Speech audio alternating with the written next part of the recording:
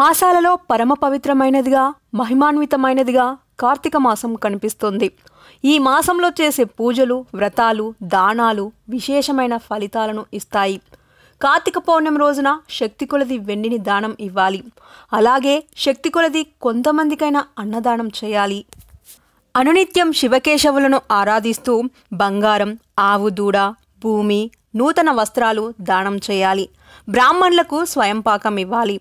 ఈ మాసంలో పురాణాలను చదవడం వలన పురాణ గ్రంథాలను దానంగా ఇవ్వడం వలన కూడా విశేషమైన ఫలితం లభిస్తుంది.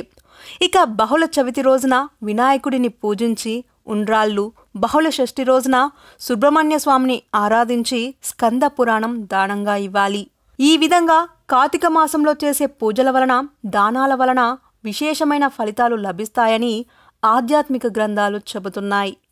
ఈ వీడియో గనక మీకు నచ్చినట్టయితే లైక్ కొట్టి షేర్ చేయండి. మరిన్ని వీడియోస్ చూడాలనుకుంటే సబ్స్క్రైబ్ చేయండి. Thank you.